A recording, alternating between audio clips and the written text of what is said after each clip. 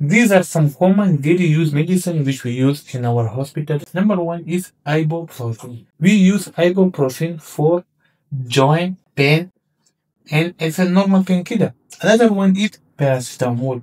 Paracetamol is mostly used for fever and as a pain for body. Third one is cetirizine.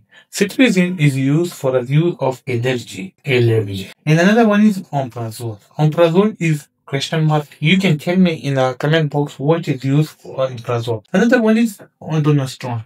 Ondansetron is used for vomiting. Another one is amlodipine. Amlodipine is used for blood pressure. Blood pressure. Another one is pantoprazole. Pantoprazole is used for gas problem. Sulopramide is used for diarrhea. Another one is telmisartan.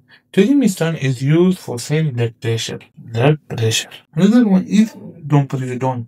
Domperidone is used for vomiting. So this was all about some daily use medicine.